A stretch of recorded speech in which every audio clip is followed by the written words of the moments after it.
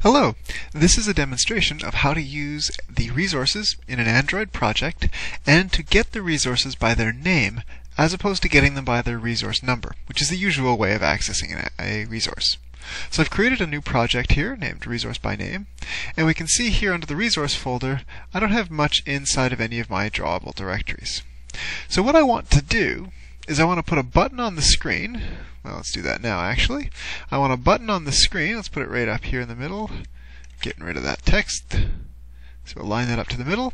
And what I want to do is when I click this button, I want it to change the image. So I'm going to set this here to be button, btn, next image.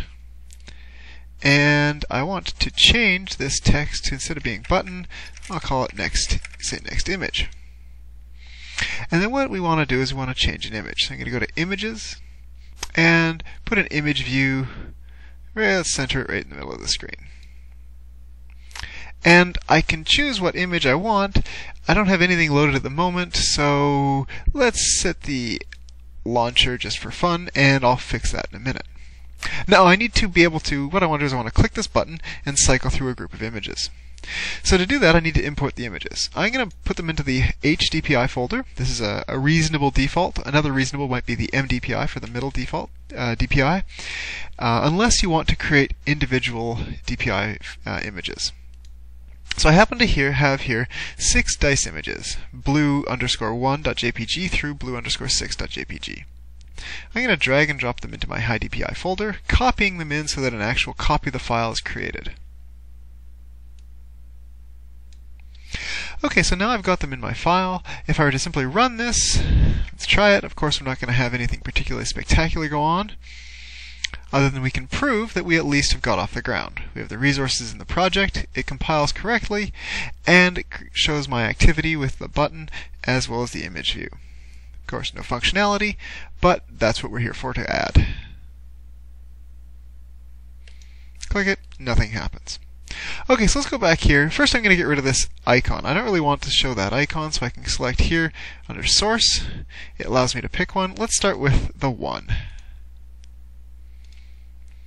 And so now I got the 1 die there.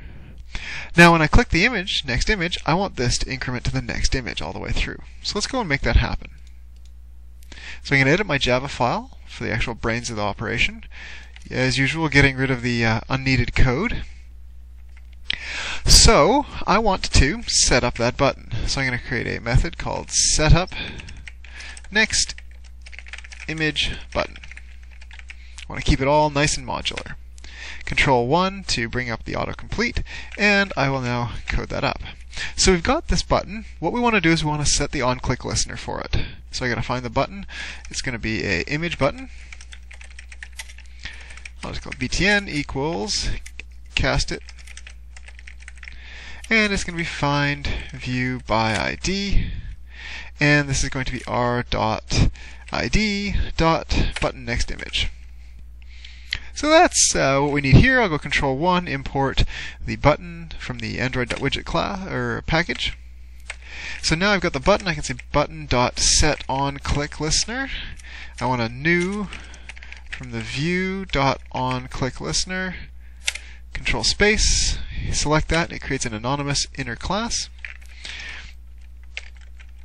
And in here I can put my code. So often we put toasts in here, but now I actually want to do something interesting. What I want to do is I want to change the image. So let's first change the image by its by a resource ID. So what I have to do is I have to find the image uh, view. So it's going to be an image view that I want to work with. Let's call this, yeah, sure, image view equals, I want to cast it, image view, and it's going to be find view by ID, r.id dot, and here we have, well I didn't give it a name, I should probably have given it a better name, so let's do that now. I'll comment out this line of code so it continues to build, go back to my activity here, and this I want to rename instead of being image view, let's call this one uh, die image for the image of my dice. I'll save the file and that'll cause it to rebuild. Now when I come here, uncomment this line, I can control space, and here I have the die image. image view at my disposal. It's going to complain because I haven't imported it yet. I'll complete the import. So now on the image view, I can call .set image. And we can see here I've got a number of options. The easy one to do if you know exactly what image you want to set to just once is to use its ID. So here I can set the ID, and it's going to be r.drawable, oops, dot, and then here's all the different images. So let's make it flip to the fourth one. So when I click the button, it's going to flip to the fourth uh, die image.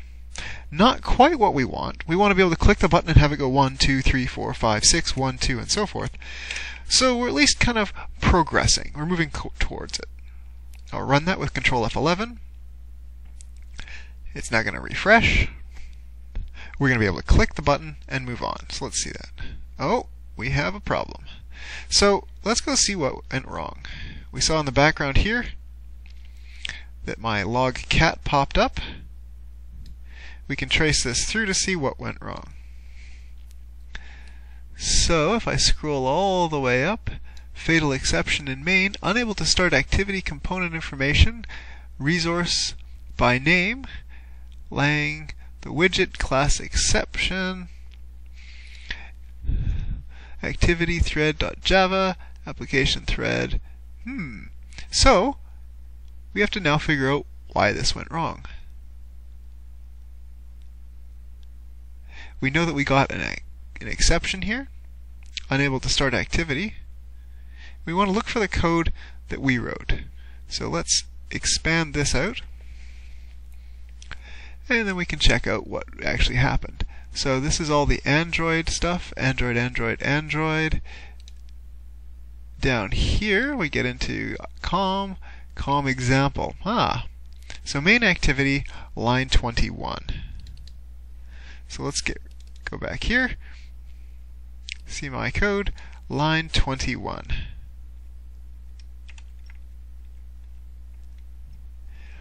It was unable to work with this. We can look at this and think, well, what happened? Why did this go wrong? Well, we're working with a button, not actually an image button. So that's my problem. It's the button that changes images, but it's not actually an image button class. I'll switch the import, and let's try that again.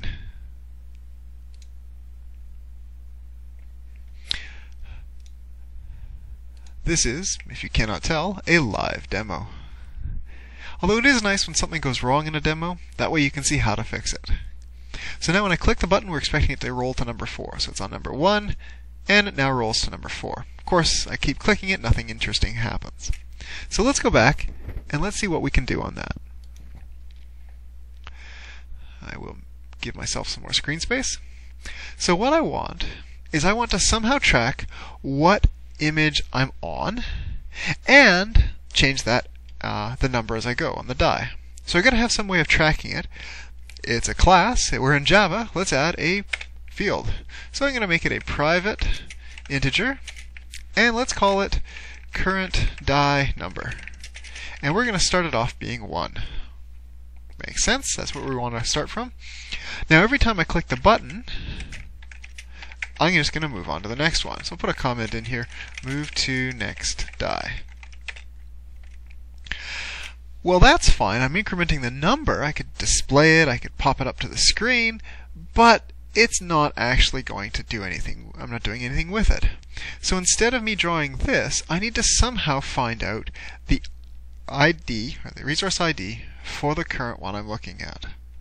So what I can do is I'm going to create a, I'm going to go back up here. So uh, we come, come up with the name of the file we want. So the first step is we want the file name. The second step is translate the file name to a resource ID. So, what's the file name we want? Well, we want the name here to be blue underscore. We're going to concatenate in the number, so current die number. And then I'm going to concatenate in, I would normally concatenate in .jpg. However, it turns out that the resources I'm going to be working with are actually going to be talking in terms of uh, not needing this whole .jpg. We don't need the extension. Android is willing uh, um, fills in a, whatever valid extension works for us.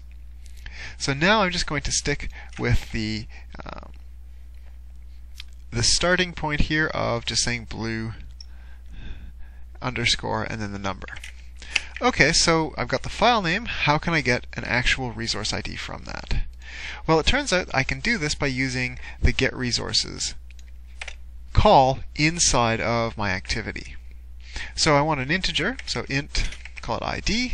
I'm going to set it to 0 just for the moment. We're going to complete the code here. So instead of me using this ID, I'm going to use the new ID that I come up with. So that's what we want, is somehow to figure out what ID this is going to be. So I'm going to say get resources. And then on the resources object, I'm going to get resource, or sorry, get identifier, pardon me. Now what goes in here? Well, we've got a string, a default, a string for the default type, and the default package. So the string, i.e. what's the name of my identifier, is going to be file name, or the name of my resource is file name. The default type, which is where it should go looking for this, I want this to be under drawable. This is the type of resource I'm looking to get back. And then the package, I've got to give it a package on where to look. Well, the easy way to do that is to make it very generic. I can say this dot get package name. Uh, this dot get package name.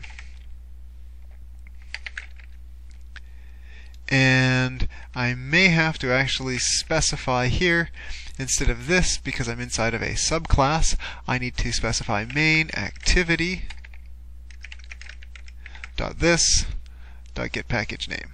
This one actually has a package because it's public uh, it is uh, the high level class. It stands on its own. And then down here we're just going to change the image based on the ID so what's the process well, I come up with a new number for the die. I then figure out what the file name is going to be. That is going to correlate to here on the left, the actual image. I'm not using the file extension because I don't actually need one. And then I'm going to convert or resolve this name, the file name, into an actual identifier using the get resources using the drawable um, type of uh, resource and then the actual package. I can pass this identifier into my set image resource call down here. So let's try it, see how it works. Of course, there's a few bugs here we can uh, walk through in a minute trying to figure them out, but the best way to find them is through testing. So it launches, we're expecting it to be a number 1 at startup, which it is. Click next image, a number 2, Three, ah, fantastic. We're able to walk through them. Now what happens when I click next? No, it's gone. Why? Well, it's trying to look for image 7. Blue underscore 7, it does not exist. So I'm going to actually make this here. I'm going to say current die number mod equal 6. Well, in fact, we got to make this a bit more complicated. I want this to be, uh, let's do this way. If current die number is greater than 6, we're just going to set this back to 1. Current die number equals 1. We could do it with mod and add 1. This logic happens to uh, be a little simpler, perhaps. I will correct the spelling. And now let's try that one last time.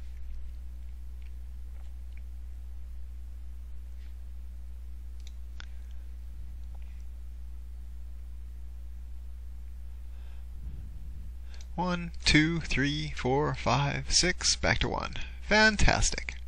Now a hint to use sometimes if you want, you might want to extract this code into an update function. We've got a member or a field that's changing values. We may have other things that change as well. We want to perhaps make it into a simple update. So I'm going to go Control Shift or Alt Shift T and I can say extract method, which happens to be Alt Shift M refactoring.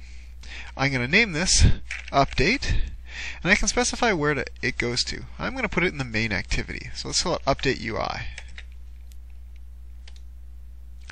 So now we can see we've extracted it here. all this is going to do is call the function to, or write the code to advance the counter, and then update the UI. Update the UI reuses the rest of that code. It's kind of nice to have it this separated because then if some other part of my program needs to somehow update the UI, maybe after the background changed or after the value reset for some other button, I don't have to have duplicate code. And one last time, just to show that that didn't break it. So what have we seen in this? We saw how to import the images. We saw how to put the image on screen. And we've seen how to convert a name, a file name for a resource, into a number, which we can then resolve to an I is the ID. And we can use that to draw the image on screen. Thank you for watching.